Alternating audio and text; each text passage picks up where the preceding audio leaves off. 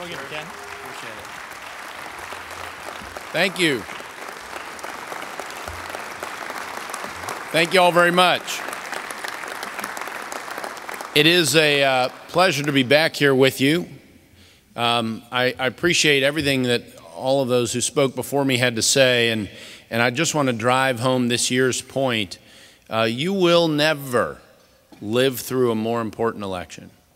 You haven't yet, and I don't think you ever will. If you do, this country's got another problem. If you ever picked a year to leave it all on the field, 2012 is the year. And you all in Iowa, like I am in Virginia, are a swing state. Now, unlike you all, until 2008, no Democrat had ever won Virginia for the presidency in my life. Well, we're going to try to return Virginia to the winner's column while you all do the same thing right here in Iowa.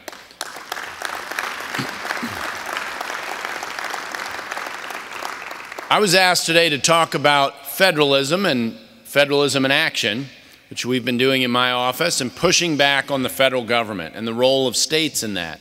Kind of a 50,000 foot subject, but that this administration has made very, very real. You know, before taking on the typical prosecutorial duties of an attorney general, which most people associate with the office, the first thing in my oath of office, the very first thing is to uphold and protect the U.S. and Virginia constitutions. That's the very first thing in my oath of office, and I take that very, very seriously.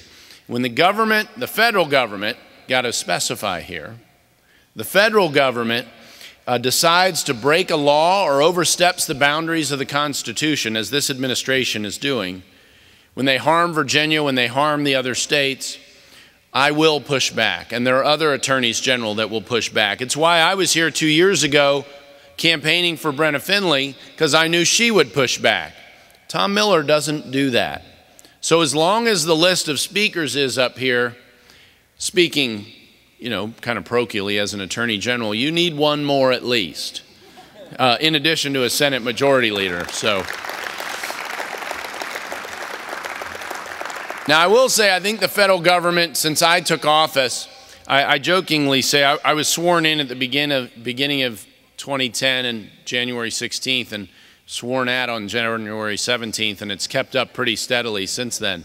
Um, but the federal government has been overstepping its boundaries that whole time, overstepping the boundaries of the law, and more seriously, of the Constitution. So I've been very busy pushing back. And I'll tell you, step one is simply fighting.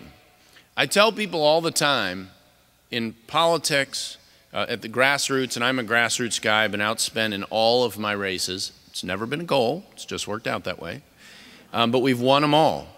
We've won them all because people committed to the first principles of this country, which is the foundation of every campaign that I've ever run, have come out of the woodwork to get us over the top. And we promised those folks and all of Virginia that we would protect those first principles, even if that meant protecting them from the federal government. And that's what we've been doing. And frankly, I've been kind of busy doing that since I became Attorney General. I'd like to be more bored.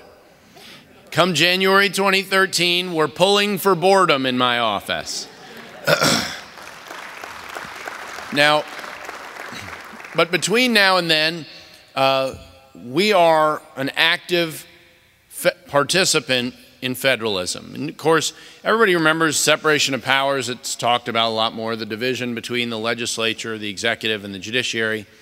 Uh, federalism I refer to as vertical separation of powers between the federal government and all the state governments. And it was designed that way. It was designed that way. If you can spare 20 pages of time, read Federalist 45 to 51. Let me see. I think that was written by, oh yeah, Virginian. How about that?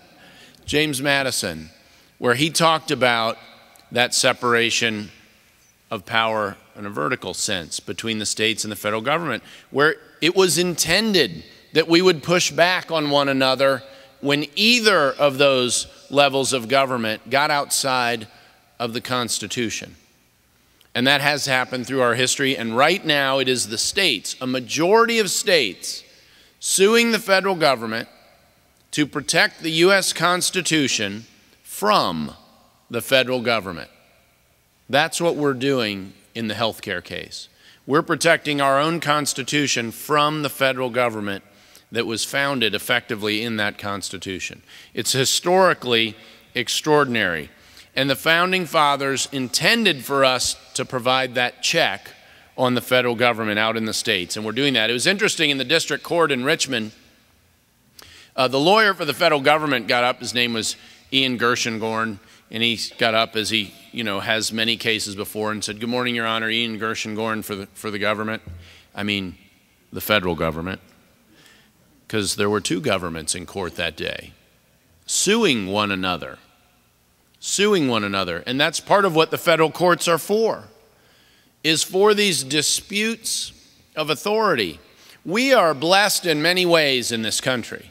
One of them is that we fight these battles for first principles today peacefully. Not as they did over 200 years ago, and as over a million people in this country have given their lives to defend those same first principles.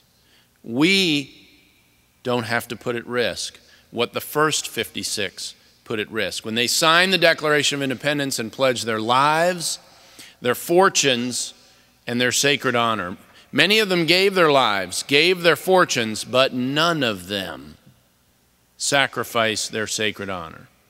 But they put it all on the line. and no one here, no one here will be asked in the next six months and one day to risk anything like they did. We have no excuses. We have been too blessed for excuses. And I expect out of you all, just as I do for myself, six months of some of the hardest political work that you will ever put in in your lives. And I'll tell you what, we're not called to win, but we are called to fight. And you put everything you can into this fight, and I know Iowa will come out on the right side. I know you all can do it. I know you can do it. And when we do that, we've got to reverse some trends. We've been asking as a people for government to do more and more of this and that, and every time all government ever asks of us is just a little bit more of our liberty, just a little bit more here and a little bit more there. And now we have a central government that plans and tries to regulate every aspect of our economy and much of our lives. We don't have a responsive federal government that we control, but people are getting fed up. They've been getting fed up. Today, the idea of federalism's reemerging. I mean, when Brenna was running two years ago here in Iowa, I mean, the federalism was a topic on the campaign trail as it was for other AGs I went and campaigned for in other parts of America. You mentioned Oklahoma earlier. Scott Pruitt won in Oklahoma, and opening an office of federalism within the, his attorney general's office was a plank of his platform. When have you ever heard federalism discussed in a campaign until the last two years? And now, because it is so intimately connected with the preservation of the foundation of this country, we hear it quite a bit, and I'm glad we do. If we've got this lousy bill we've got to try to get rid of, we ought to at least teach people some lessons, whether they're Republicans or not, so that we don't repeat these mistakes in the future. That's part of our job, it's part of our responsibility. And, and part of how we do that, of course, is not just by pushing back on the federal government, but explaining it along the way and bringing voters over you know, the conservative sales pitch is tougher than the liberal sales pitch. The liberal sales pitch is easy. Here's a check. You vote for us, keep us in power, and the checks will keep coming. That's pretty easy. They do the feel good thing and so on and so forth. For conservatives, it's more intellectual. It's setting up a system where when our children are our age, opportunity will still be available to them. And opportunity is just liberty in the economy. And this administration is suffocating liberty. For us now, today, and for our children 10 and 20 and 30 years from now. And that's what we have to stop on November 6. The worst example, of course, of this is the federal health care bill passed largely against the majority, the will of the people, as demonstrated continuing by the polls that get worse and worse and worse for it as time goes on. So I guess Nancy Pelosi was right about that part, that now that they passed the bill, we can find out what's in it. And the more people learn, the less they like it, shockingly enough. That's just because Americans are smart. They wise up. Virginia was the first state to go to court. We waited mm, 35 minutes or so after the president signed the bill and uh, filed suit. Now, I'm a I'm an amateur historian, and, and uh, I didn't realize this until the night of. The, president, of course, signed the bill March 23, 2010. That was the 235th anniversary from 1775 of Patrick Henry's Give Me Liberty or Give Me Death speech, which was fairly ironic, I thought, given that this piece of legislation was one of the greatest erosions of liberty in our lifetimes. Even more ironic was the fact that didn't occur to me till I was on a conference call that night, about 9:30, kind of a light bulb went off, where we filed suit in the 700 block of East Broad Street in Richmond was 17 blocks directly east on the same street where he gave that speech 235 years later. On the same street, 1.12 miles according to Google Maps. Have we come full circle or what? And I will tell you, as Virginia's Attorney General, uh, first of all, I believe that the earthquake in Virginia was caused by James Madison rolling over in his grave. That's where it was in Virginia. And second of all, these first principles that we're defending in this case were first articulated and best articulated in Virginia by Thomas Jefferson in the Declaration, James Madison, the father of the Constitution, and Patrick Henry, who browbeat them all into the Bill of Rights. It's very appropriate for us to be leading that charge. And as we wait here about a month and a half, probably the last week of June, to find out whether we still have a government of limited and enumerated powers or not, Virginia is going to be there for whatever fight comes out of there. We're going to be there again as long as I'm Attorney General. And I know that so many of you have stood with us in elections. You know, you've got uh, critical congressional races uh, this year. Uh, Steve King is one of my very favorite congressmen, no disrespect to any of the others, but uh, I probably spend more time with Steve on Capitol Hill than anybody else. So sorry, Steve. But uh, but, uh, but anyway, you know, our argument in this case is that the federal government does not have the authority to order you what to buy. They've never tried to order you what to buy before. They've never done that. Let me tell you just how historically unprecedented this is. You know, when we have a case like this that lawyers call a case of first impression, there's never been one like it. We go back to the beginning. We look at why they wrote this part of the Constitution the way they did and the history of it? Well, this is a Commerce Clause case. It's not a 10th Amendment case. It is can the federal government compel you to buy a product in order to regulate you? That's what they're doing here. So we go back before the Revolutionary War, and for the 10 years before, we were boycotting British goods. Almost exactly 10 years. And during that time, there was a lot of debate both in governors' councils in the colonies, because we were not citizens, we were subjects, and over in Parliament on the other side of the Atlantic. And the Attorney General and Solicitor General for the King at that time sat in Parliament by tradition, and they were asked, Isn't this boycott by the colonists treason? Pretty important question for obvious reasons. And the answer was, the colonists have come right up to the line, but they have not crossed it. Well, think about that. Flip that coin over. That's an admission that they couldn't order us to buy British goods. But we have a president who believes he can. That is how historically unprecedented this exercise of power is. King George III didn't try to do it. But Barack Obama thinks he can. And we'll see what the Supreme Court has to say about it, but America has a say in this too. And let's say we win, and the whole law is ripped out by the roots.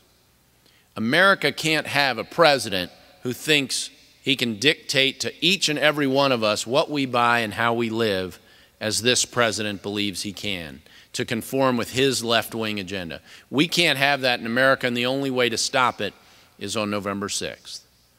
It's absolutely critical that we take that responsibility deadly seriously.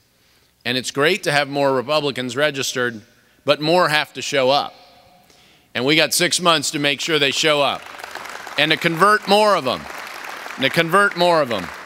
You know, as we go through this case, the federal government basically argues that your decision to do nothing, to do nothing, to buy nothing, to not buy the product they want you to buy, is the same as economic activity. They have a little trouble with their definitions. Activity is the same as inactivity. I jokingly tease their lawyers that I think the founding father they have the most trouble with is Noah Webster. they don't appreciate that a whole lot. Well, that's okay. Get right. And I'll stop teasing you about that. Um, obviously, the Supreme Court heard the case at the end of March. Um, on the mandate, the federal government had one challenge when they walked into that courtroom. They had to explain to the Supreme Court something they hadn't explained anywhere else in any of the hearings up to that point. And that is if ordering you to buy health insurance is somehow constitutionally unique, how is that power quarantined? What makes it so unique for legal purposes that they won't show up to order you to buy asparagus, and it was good tonight, but it's asparagus, and uh, or to buy a health care membership, health club membership, or buy a car. The legal principles are the same. You know, I have a theory. I think they're going to make you buy a GM. They got some interest in GM these days, and I, I actually uh, have more particular theory about it. They're going to make you buy a Chevy Equinox. Now, I own a Chevy Equinox. You don't want to own a Chevy Equinox. And that's exactly why that's the one they're going to order you to buy. If it stops moving, subsidize it, you remember? Well, Chevy Equinoxes for everyone. Um, hopefully not. Hopefully we won't go there. Hopefully the Supreme Court will return us to the foundational principles for the Commerce Clause and put this government back inside the constitutional box that it belongs in. We'll find out at the end of June. We'll find out at the end of June. This lawsuit is not about health care. Because if we lose, you got the cars, you got the asparagus, so on. It's about liberty. You can take health care and health insurance out of this bill and put cars and put food and put anything else in there, and the legal principles are the same. So the question is Does this government have this dictatorial power over your life or not? I don't think the founders, not one of them, not even Alexander Hamilton, would say yes. He, New Yorkers, you know, what are you going to do? But. Uh, but um, this would be extraordinary. But if we win, we have stopped the ball rolling from the New Deal. It has, we have stopped finally the ever expanding realm of government power according to the Supreme Court. There's a lot at stake when this order comes out. And there's the opportunity for a lot of great news. And we shall see. But the brazenness of this administration in overstepping these boundaries and trampling the Constitution. You know, Steve mentioned property rights in my introduction. That's something that I've worked for eight years on. We have a constitutional amendment in Virginia this year. It took me, if we win, about two months short of eight years in that effort. And um, I've been there every year, as the opponents will tell you. I've been beating the heck out of their knuckles with my face. Um, I, don't, I don't recommend it, but it looks like it's going to work. Um, And when we were debating that one time, I want to say five years ago, uh, the majority leader, now majority, well, no, Republicans have our, we have a 2020 Senate, so I'm not quite sure how to say it. But um, the leader of the Democrats, how about that, stood up on the floor and said, property rights don't belong in the Constitution. Thankfully, he said it two days in a row. Um, it's one of those things that you hear and you think, he didn't just say that. He didn't just say that. And he did say that. You know, a lot of people take the Constitution for granted. In Virginia, the vote to ratify the Constitution was 88 to 80. Four votes out of 168 go the other way. No Constitution. In New York, it was two votes, 31 29. One vote goes the other way. No New York. Patrick Henry, James Monroe, that would be future President James Monroe, George Mason voted against the U.S. Constitution in Virginia's state ratifying convention because it did not protect exactly those kinds of individual rights. Ladies and gentlemen, that's what we're facing on the other side. They think the Constitution is a quaint piece of art from the 18th century. Looks nice on the wall, but we don't need to worry about it as we go about the business of governing, governing your lives, not your government, and your society, not your government. Constitutions govern government. At least they're supposed to. And as attorneys general, we're the last line of defense when the federal government oversteps those boundaries. When there aren't enough folks in Washington to rein in the federal government, or they're not committed enough to rein in the federal government, and we've had both, and we've had Republicans in this category, then it falls to states to push back, and we are pushing back. But it's a defensive position. You know, we need cavalry. That's what November 6th is about. We need to get back on offense. We need to start shrinking this government, not shrinking the increase, shrinking the government.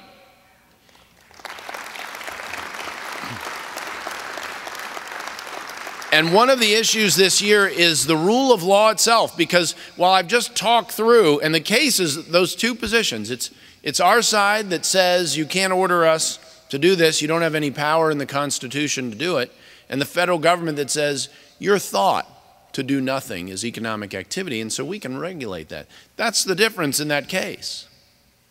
But it is only one example of more than a score of examples I could give you of violations of the law or the Constitution by this administration. The rule of law itself is at stake in this election. Make no mistake about it. You know, before I, I Steve mentioned I was green when I filed this suit. I'd been in office two months and a week. Um, but that was the second lawsuit. The first one was against the EPA, which I've taken to calling the Employment Prevention Agency because, well, they're so good at that. If there was a C in the title, I'd fit crucifixion in there somewhere, but, but um, that is how they operate. The EPA, the NLRB, the FCC, the president's recess appointments, the list goes on and on and on of violations of the law itself. And I want to share with you to close a thought, a, a, quote from Ronald Reagan that I always look back on when I think about these fights, because they are. Every one of them is its own fight, and it's its own defense of the Constitution and of the structure of government that the founders delivered to us.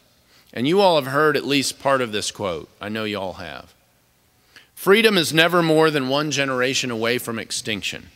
We didn't pass it to our children in the bloodstream. It must be fought for, protected, and handed on for them to do the same. And most people stop there. But I'm more pessimistic than most people. And I'm a conservative. There are consequences. So let's finish the quote and hear the consequences. And do the same for them. Or one day we will spend our sunset years telling our children and our children's children what it was once like in America where men were free. Well, as long as I'm running for office and as long as I'm in office, I'm going to fight for that freedom, and I want you to join me for the next six months, and we're going to have a new America come 2013. God bless every one of you. Thank you for having me. Thank you, sir. Thank you. Thank you. Ken Cuccinelli, everybody.